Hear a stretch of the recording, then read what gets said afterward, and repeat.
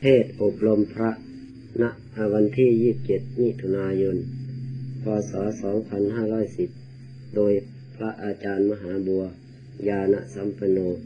ณ วัดป่าบ้านตาด จังหวัดอุดรธานี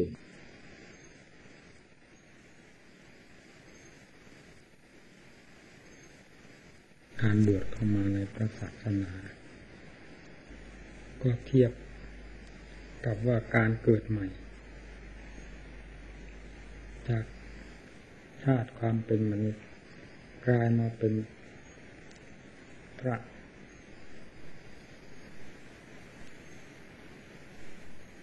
ชาติดังเดิมคือเป็นมนุษย์เราทุกคนเป็นมนุษย์ทั้งหญิงทั้งชายเรียกว่ามนุษย์ด้วยกันทั้งนั้นนั่นเป็นชาติที่เป็นมาจากกำเนิดที่เรียกว่าเกิดขึ้นมาเป็นคน เบื้องต้นก็เป็นคนอยู่ตามบ้านตามเรือน ไม่ว่าเด็กหรือผู้ใหญ่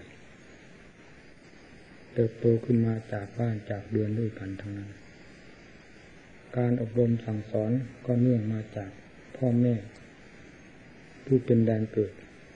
เป็นผู้ให้อุวาสสั่งสอนก่อนใครทั้งหมด แต่อุบายในการสั่งสอนย่อมเป็นไปตามคติของโลก เพราะเนื่องจากผู้ปกครอง ก็เป็นโลกอยู่ธรรมดา การแนะนำสั่งสอนจึงเป็นไปทางจิตบ้านการเรือน การก่อสร้างตั้งเนื้อตั้งตัวในทางคารวะหาความรู้วิชาก็เป็นไปในทางอาชีพ เพื่อการอยู่เย็นเป็นจุดและความมั่นคงของครอบครัวตลอดถึงชีวิต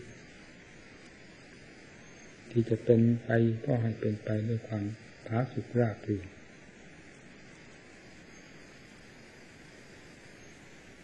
นั่นเป็นการอบรมในทางหนึ่ง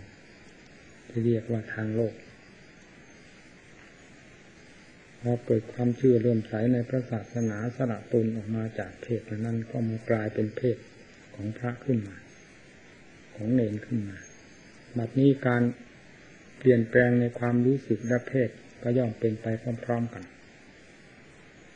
การเปลี่ยนแปลงในทางเพศก็คือเปลี่ยนแปลงจากความเป็นคารวะได้เรียนมากลายเป็นเพศของพระของเนรความรู้สึกที่จะให้กลมกลืนกันกับเพศของตนก็คือ ระเบียบแห่งพระธรรมวินัยที่พระพุทธเจ้าสั่งสอนไว้ ความรู้สึกนึกคิดความประพฤติ ทางกายทางวาจาและทางใจ ยอมมีเข็มทิศคือหลักธรรมวินัยเป็นทางเดินเสมอ ถ้าให้เคลื่อนคลาดจากหลักของพระธรรมวินัยที่พระพุทธเจ้าได้ทรงวางไว้แล้วโดยถูกต้องก็ไม่จัดว่าเป็นพระเป็นเนรที่สมบูรณ์แบบ การทำตนให้เคลื่อนคลาดจากหลักพระธรรมวินัยนี้ เป็นความเสื่อมเสียยิ่งกว่าคารวะที่มีความประพฤติผิด เพราะเพศต่างกัน ความรู้สึกที่จะให้เป็นไปตามเพศของตนก็ต่างกัน แต่ไปเอียงลงไปทางต่ำเสียเช่นนี้จึงกลายเป็นคนที่ลามกยิ่งกว่าคารวะขอให้ทุกๆท่านที่เป็นนักบวชด้วยกันโปรดทำความสำนึกภายในเพศของตนอยู่เสมอต้องมีความสัมพันธ์เกี่ยวเนื่องกับหลักธรรมวินัยไปตลอดสาย ไม่ว่าการยืนการเดินการนั่งการนอนเว้นเสียแต่หลับซึ่งเป็นสิ่งที่จะสุดสิทสิ่งที่สุดวิสัย ไม่สามารถที่จะปกครองตนได้ในเวลาเช่นนั้น การมาบวชเป็นพระเป็นเนรแล้ว จะทำให้ตามความชอบใจเหมือนอย่างคารวะย่อมเป็นไปไม่ได้ เพราะผิดกับเพศของพระหน้าที่ของตนตามต้องคำนึงถึง หลักพระธรรมวินัยที่ เป็นเครื่องประจำเพศของตนเสมอมีแลชื่อว่า เป็นสมณะ ที่ถูกตามแบบฉบับหรือว่าสมสมบูรณ์แบบของสมณะที่บวชมาการปกครองนี้ไม่มีสิ่งใดที่จะปกครองยาก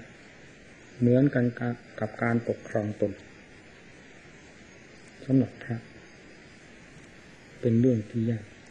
แม้แต่ทางคารวะก็ย่อมเป็นเช่นนั้นเหมือนกัน แต่มีต่างกันอยู่บ้าง เพราะเพศเป็นเครื่องพาให้แตกต่างกันแต่ถึงยังไงก็ตาม เรื่องการปกครองตนนี้ย่อมถือว่าเป็นของยาก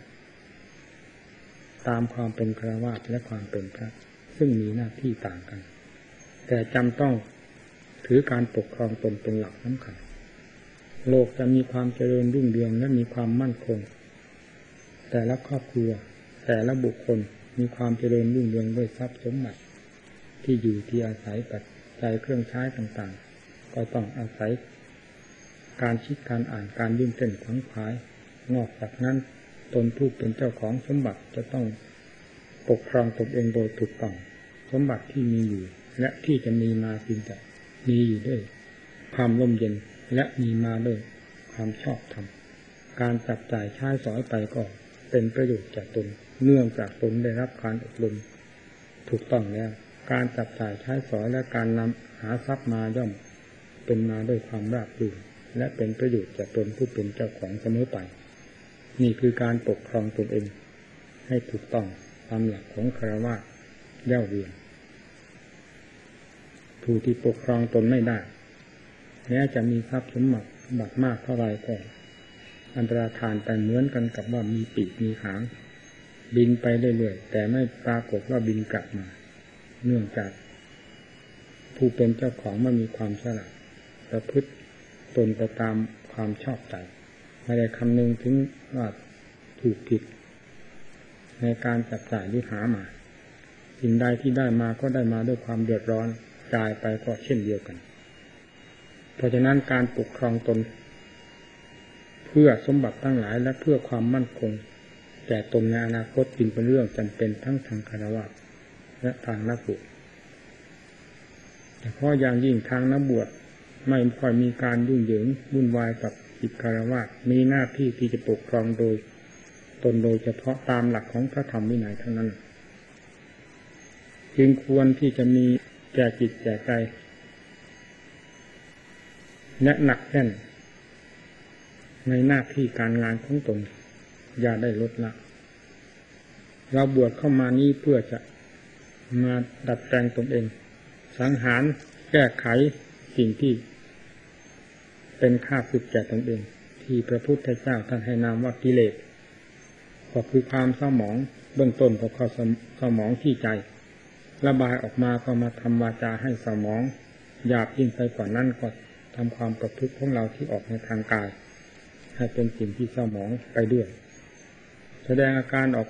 ใดออกมาชื่อว่ากิเลสแล้วจะทำความผ่องใสให้แก่บุคคลเป็นที่ยินดีสำหรับผู้ละ เป็นเจ้าของและผู้อื่นที่ได้เห็นได้ยินนั้น ย่อมเป็นไปไม่ได้เพราะฉะนั้นท่านจึงตำหนิตลอดมา ไม่ว่าพระพุทธเจ้าพระองค์ใดย่อมตำหนิความเศร้าหมองที่ให้นามว่ากิเลสนี้ว่าเป็นภัยแก่บุคคลหรือแก่สัตว์เสมอไป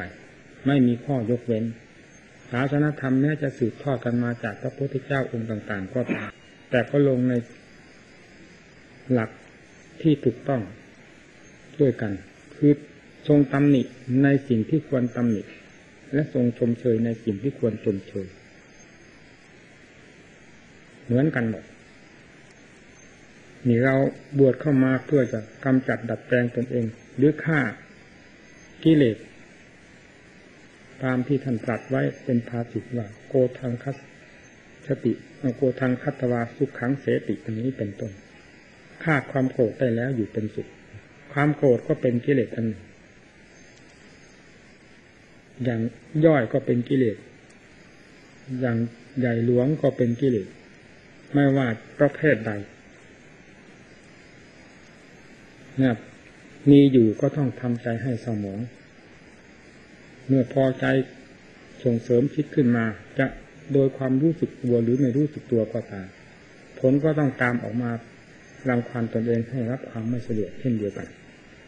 มีพระพุทธเจ้าเป็นสอนให้ละ สอนให้แก้ไข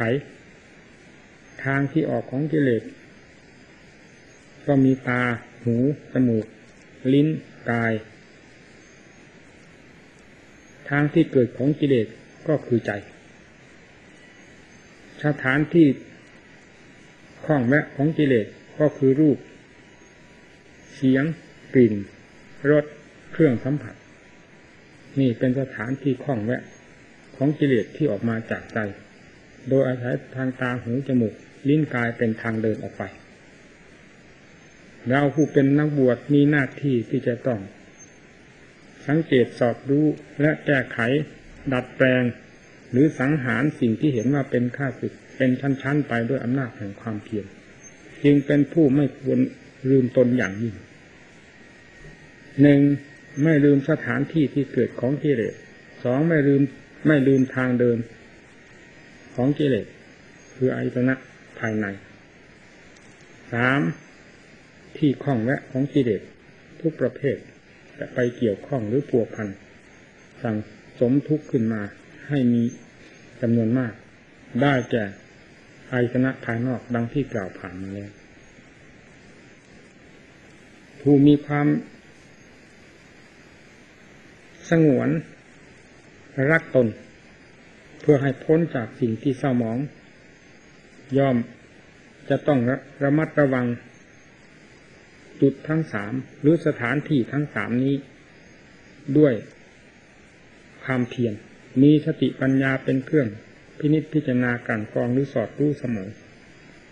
ไม่ได้มองเห็นสิ่งใดด้วยความเล่นเลิกเผลอสติได้ยินได้สัมผัส เป็นต้นในสิ่งที่ มาเกี่ยวข้องกับใจ โดยความไม่มีสติ ต้องระมัดระวังเสมอนี่ชื่อว่าผู้มีความเพียรระวังสังรวมตน ไปเกี่ยวข้องกับสิ่งใดตามธรรมนาของใจที่มีกิเลสอยู่แล้ว ย่อมจะสั่งสมกิเลสในสถานที่เกี่ยวข้อง หรือในสิ่งที่เกี่ยวข้องนั้นๆจะเป็นดีเป็นชั่ว ตามความชอบใจของตน เห็นว่าดีว่าชั่วนั้นก็ตามจะต้องเป็นกิเลสขึ้นมา ถ้าไม่มีสติปัญญาเป็นเครื่องกันกรองด้วยแล้ว จะเป็นแต่กิเลสล้วนๆ ตาหูจมูกลิ้นกาย จะทอดสะพานไว้ตลอดเวลาสำหรับเป็นทางเดินของจิต เที่ยวแสวงหาอาหารที่เป็นยาพิษมาเผาดนตนเอง ได้มาโดยได้มาจากทางรูปบ้าง ทางเสียงบ้าง ทางกลิ่นทางรสทางเครื่องสัมผัสตุกพ้องบ้างได้มาจากอดีตที่เกี่ยวกับสิ่งเหล่านี้ด้วย บ้างได้มาจากอนาคต ที่ยังไม่ปรากฏสิ่งเหล่านี้ขึ้นมาภายในปัจจุบันก็จริง แต่ก็คาดไว้ จากสิ่งเหล่านี้ โดยมโนภาพของตนบ้างนี่เป็นคติธรรมดาของใจที่มีกิเลสจะต้องเป็นอย่างนั้นเสมอ เราผู้เป็นนักสังเกต และพยายามแก้ไขตนเองแล้วจึงควรสำเนียกสอดรู้ความเคลื่อนไหวของใจ ที่จะเดินไปตามสะพานคือตาหูจมูกลิ้นกาย อันเป็นทางเดิน มาตลอดเวลาว่าจะไปเกี่ยวข้องกับสิ่งใดบ้าง สิ่งที่เกี่ยวข้องนั้น เป็นสิ่งที่จะให้คุณ หรือให้โทษแก่ตนเอง ต้องคอยสังเกตเสมอสิ่งใดที่เห็นว่าจะเป็นโทษพยายามกีดกัน จิตใจของเรา ไม่ให้ไปเกี่ยวข้อง นอกจากนั้นยังพิจารณา แยกดูเหตุดูผล ดีชั่วที่จะเกิดขึ้นจากความเกี่ยวข้องกับสิ่งนั้น ๆ โดยทางสติและปัญญา แล้วนำจิตถอยเข้ามาด้วยความมีเหตุมีผล ที่ได้พิจารณารอบครอบแล้ว เข้ามาสู่จุดเดิมของตน คือความรู้ แล้วคอยระมัดระวังรักษาอยู่อย่างนี้ไม่ว่าจะออกไปเกี่ยวข้องกับวัตถุหรืออารมณ์อันใด ซึ่งเป็นสถานที่ของแวะของใจมาเป็นเวลานานให้ทำความไกลกรองเสมอ เรื่องของตาหูจมูกลิ้นกายนี้ เป็นเรื่องที่จะต้องได้เห็นได้ยินได้สัมผัสเสมอ เพราะใจเป็นผู้พาให้รู้เสมอ และสิ่งหรือสถานที่คล่องแวะเหล่านั้น ก็ต้องมาเกี่ยวข้องกับใจ เพราะใจเป็นผู้มีความสนใจอยู่ตลอดเวลาที่จะอยากรู้อยากเห็นอยากรับสิ่งสัมผัส โดยไม่คำนึงถึงความดีชั่ว สุขทุกข์แต่อย่างไรนี่เป็นคติของใจ สามัญชนเราเป็นอย่างนี้ แต่คติ แห่งใจของบุคคลผู้เป็นนักปฏิบัติจะไม่ให้เป็นอย่างนั้น แต่จะให้มีเหตุมีผลมีเครื่องทดสอบ ดูดีชั่วสุขทุกข์จากสิ่งที่มาสัมผัสกับใจ และจากใจที่ไปเกี่ยวข้องกับสิ่งเหล่านั้น เสมอไป นี่ผู้ปฏิบัติ ต้องเดินไปตามทางสายนี้ และจะเห็นเหตุเห็นผลจากความเคลื่อนไหวของใจที่ไปเกี่ยวข้องกับอารมณ์ได้ทุกระยะระยะเมื่อใจได้รับการฝึกฝนอบรม ทดสอบหรือแสดงเหตุผลให้ทราบจากทางปัญญาเสมอแล้ว จะไม่ดื้อดึงหรืออาจเอื้อมไปเกี่ยวข้องกับสิ่งที่เคยเป็นข้าศึกมาแล้ว โดยเห็นว่าเป็นคุณดังที่เคยเป็นมา แต่จะกลับเห็นว่าเป็นโทษแล้วไม่ แล้วมีความขยะขยงต่อสิ่งนั้น นั่นแหละใจจะได้รับความสงบเย็นใจ แล้วจะกำหนดในทางสมาธิให้เข้าอยู่ โดยลำพังตนเอง ก็จะเป็นบ้าเป็นไปได้ตามใจหวัง ตามธรรมดาของจิตถ้ายังมีข้องแวะหรือเกี่ยวข้องกับอารมณ์ใดอยู่ จะเข้าสู่ความสงบไม่ได้ ต้องเรียกว่าเป็นผู้ยังก่อกังวลหรือก่อเรื่องใส่ตัวอยู่ ไม่ได้ปล่อยวางกับเรื่องนั้นแล้ว เข้ามาอยู่โดยลำพังตนเองไม่ได้ จิต จะหาความสงบไม่ได้ อุบายวิธีที่จะให้จิตสงบนี้เป็นสิ่งที่สำคัญ ต้องใช้ทั้งทางด้านปัญญา ทดสอบและกรองดังที่กล่าวมานี้ จากสิ่งที่จิตไปเกี่ยวข้องสัมผัส และแสดงเหตุผลให้จิตได้ทราบชัดตามหลักความจริงในสิ่งที่มาเกี่ยวข้อง ทั้งดีชั่วสุขทุกข์จนจิตได้ยอมจำนนตนเอง ย้อนเข้ามาด้วยความไม่มีอะไร กับสิ่งที่เคยเกี่ยวข้องนั้น เข้ามาสู่ความสงบได้นี่เรียกว่าจิตเป็นสมาธิได้ด้วยอุบายวิธีนี้อย่างหนึ่งวิธีอย่างหนึ่งถ้ากำหนดโดยมีธรรมะบทใดบทหนึ่ง เข้าเป็นเครื่องอาศัยของจิต ให้จิตได้ยึดอยู่กับธรรมนั้น โดยไม่มีความเสียดายกับอารมณ์อันใด นอกจากอารมณ์แห่งธรรมที่กำลังพิจารณาอยู่ทั้งนี้ โดยความมีสติ นี่ก็เป็นทางที่จะให้จิตเข้าสู่ความสงบได้อีกทาง ความสงบทั้งสองทางนี้ ผลที่ปรากฏขึ้น เป็นความเย็นใจ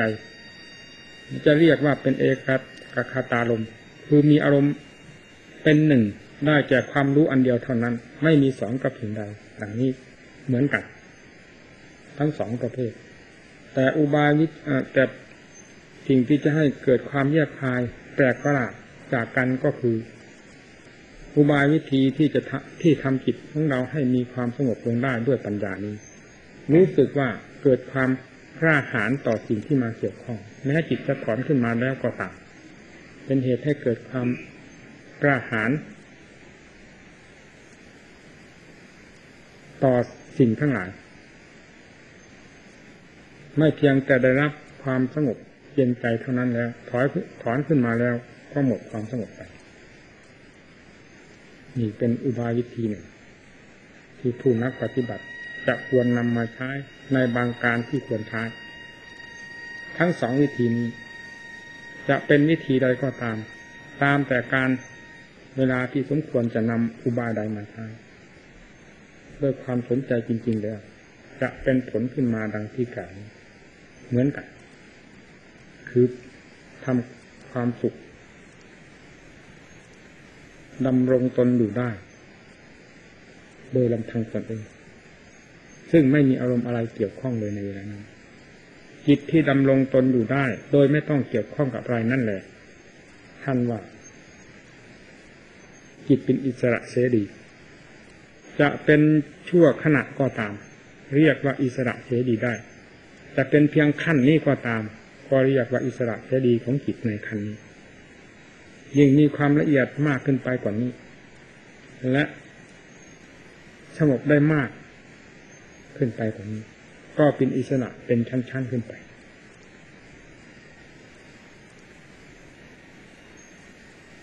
นี่แหละธรรมที่กล่าวเหล่านี้ เป็นธรรมจำเป็นสำหรับนักบวชเราอย่างยิ่ง ผู้บวชมาในพระศาสนา เฉพาะอย่างยิ่งคือเป็นนักปฏิบัตินักปฏิบัติด้วยแล้ว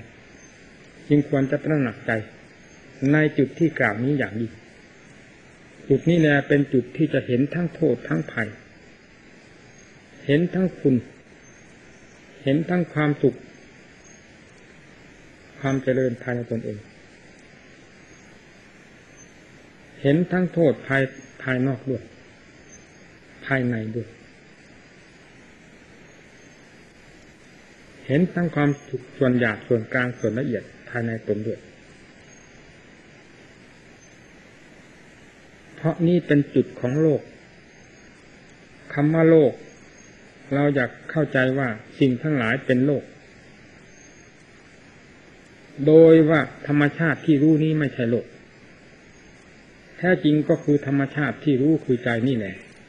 เป็นหลักของโลกของธรรมทั้งหลาย และเป็นผู้ที่หลงโลก ติดโลก คือสิ่งที่มีอยู่ทั่วๆไป การพิจารณารู้ธรรมชาตินี้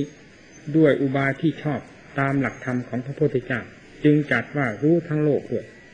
รู้ทั้งธรรมด้วย มีความรู้ความละเอียดเข้าไปเท่าไรก็แสดงว่าเป็นผู้ที่รู้เรื่องของโลกของธรรมกว้างขวางและละเอียดไปทำไมรู้ธรรมชาตินี้จนสุดขีดสุดแดนของความรู้ แล้วก็ชื่อว่าเป็นผู้เรียนโลกจบ เรียนธรรมก็จบในเวลาเดียวกัน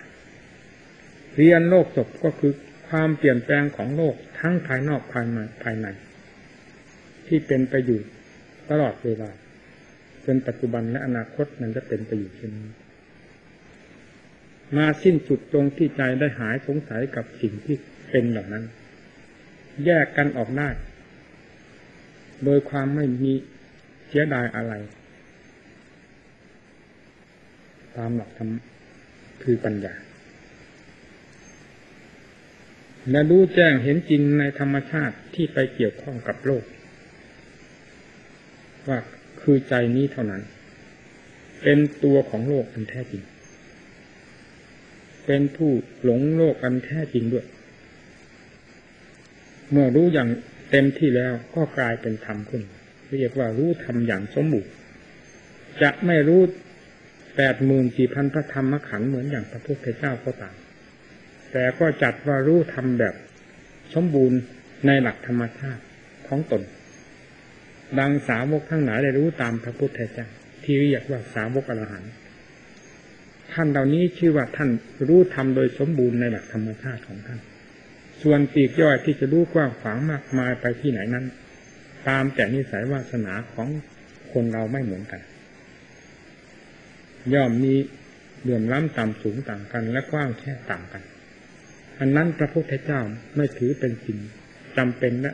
สำคัญอะไรมากนะ ยิ่งกว่าความรู้ทำในหลักธรรมชาติ รู้ตนโดยรอบคอบ รู้โลกโดยรอบคอบ รู้ธรรมโดยรอบคอบบริสุทธิ์หมดจดอยู่ที่ใจ เพราะเรียนเรื่องของใจจบ นี่แหละเป็นสิ่งที่จำเป็นอย่างนี้เรื่องของใจนี้เป็นเรื่องมากมายกายของสลับซับซ้อน จึงควรเรียนให้จบ ถ้าเรียนเรื่องของใจจบแล้ว จะไม่มีสิ่งใดมาทำการก่อควรให้ได้รับความเดือดร้อนวุ่นวายหรือความเพลิดเพลินพุ่งเฟ้อเหิดเหินเหมือนอย่างที่เคยเป็นมาสิ่งเพราะสิ่งเหล่านี้เป็นสิ่งที่แฝงไม่ใช่เป็นสิ่งดั้งเดิมและเป็นหลักธรรมชาติจึงมีความเปลี่ยนแปลงตัวเองไปได้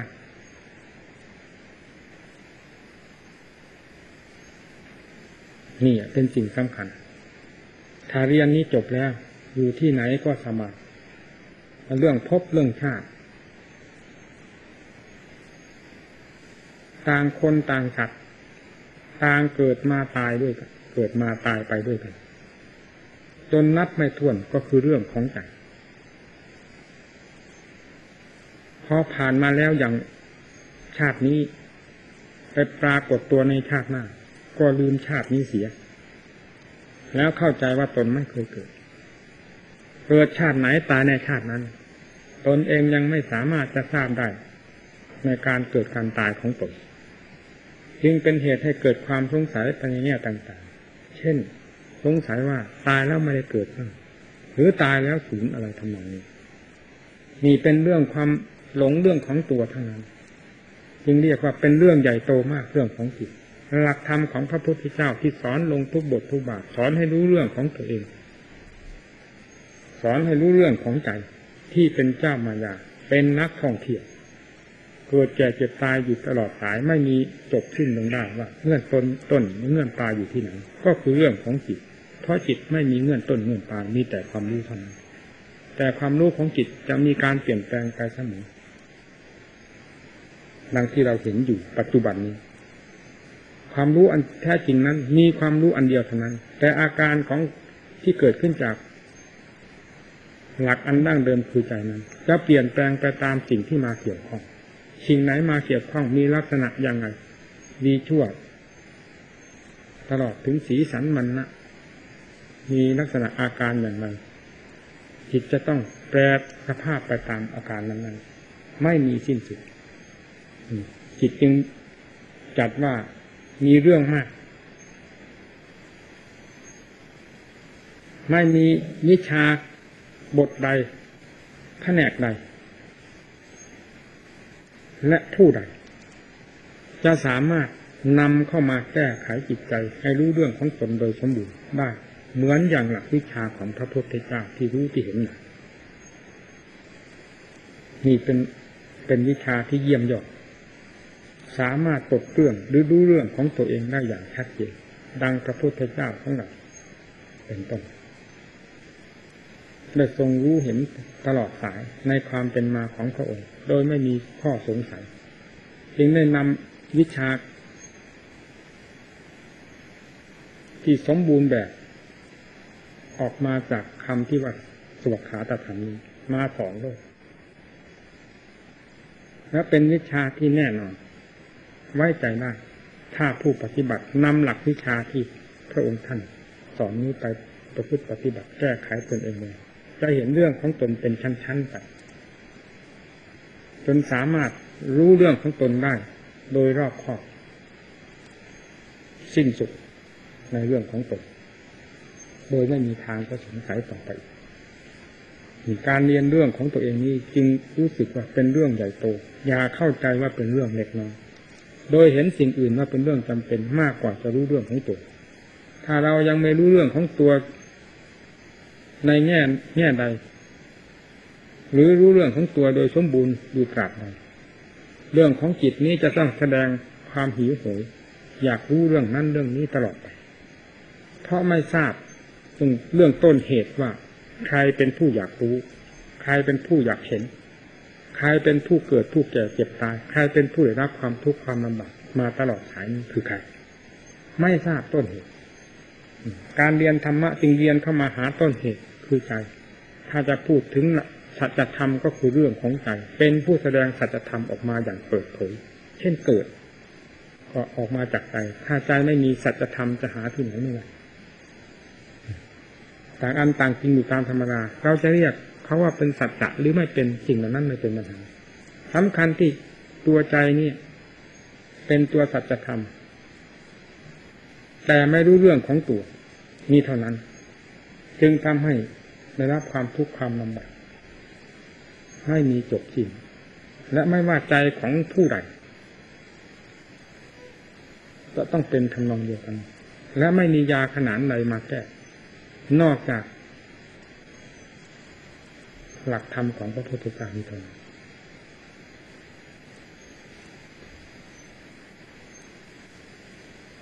ฉะนั้นโปรดให้ทุกๆท่านได้พิสูจน์เรื่องโลกเรื่องธรรม เรื่องกิเลสตัณหาอาสวะ เรื่องเกิดเรื่องตาย ซึ่งแสดงอยู่กับตัวนี้ให้เห็นชัดหากกำจัดความสงสัย หรือกุ้งเฟ้อเห่อเหิมโดยมีความอยากเป็นเครื่องผลักดันอยู่ตลอดเวลานั้น ได้เป็นลำดับจนสามารถถอดถอนความอยากที่เป็นเครื่องผลักดันนั้นออกได้ใจจะหมดความอยาก คนเราถ้าหมดความอยากแล้วก็สบายแม้แต่หิวข้าวก็ไม่สะดวก เป็นความทุกข์หิวมากเท่าไรก็ยิ่งเป็นทุกข์มาก แต่รับทานให้อิ่มน้ำสำรานเสียแล้วความอยากก็หายไปเราก็สบายแต่อันนั้นมันเป็นขึ้นเป็นบางครั้งบางคราแต่ความอยากของจิตนี้รู้สึกจะมีอยู่ตลอดเวลาไม่เลือกการสถานที่ เวลาไหนเป็นอยู่เช่นนั้นมีความหิวโหยอยู่กับด้วยอารมณ์อารมณ์โดยมาก ที่จิต มีความหิวโหย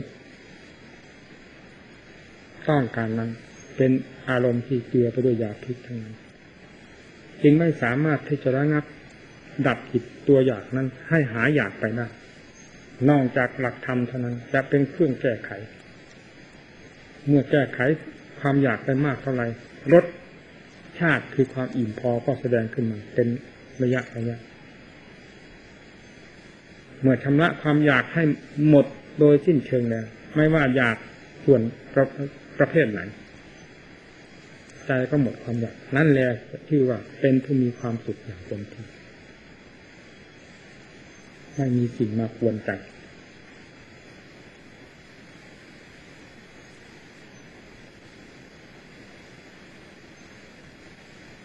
ท่านผู้ยะผู้ใดสนใจ ไม่หนีหลัก จากคำว่าตนหรือใจแล้วท่านผู้นั้นจะมีจุดหมายปลายทาง เป็นที่สมหวัง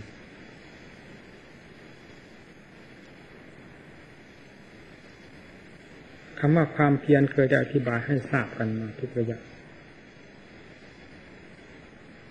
เพียรอย่างหยาบอย่างกลางอย่างละเอียด จัดว่าเป็นความเพียรทั้งนั้น